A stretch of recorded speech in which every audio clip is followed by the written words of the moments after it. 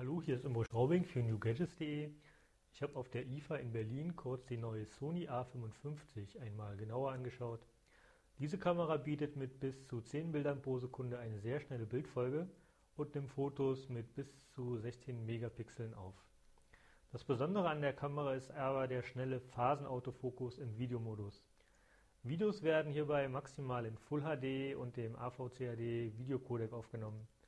Bei niedrigeren Auflösungen nimmt die Kamera im MP4-Format auf.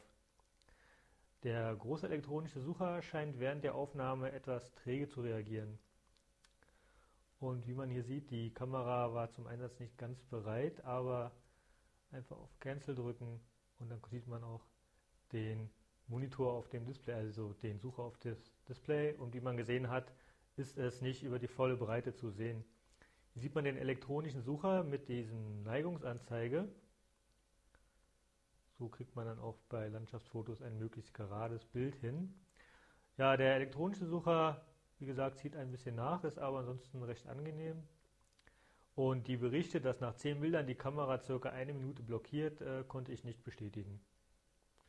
Eine manuelle Belichtung im Videomodus geht nur in Form von einer Blendenvorauswahl, bevor die Aufnahme startet. Und das auch nur, während man manuell fokussiert. Bei Autofokus ist die Belichtung automatisch.